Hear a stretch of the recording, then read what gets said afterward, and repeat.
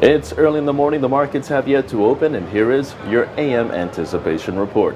Now, after closing mixed yesterday, U.S. stock index futures, they traded slightly lower this morning ahead of the release of the minutes from the latest Federal Reserve meeting, which is scheduled to be released at 2 p.m. Eastern Standard Time.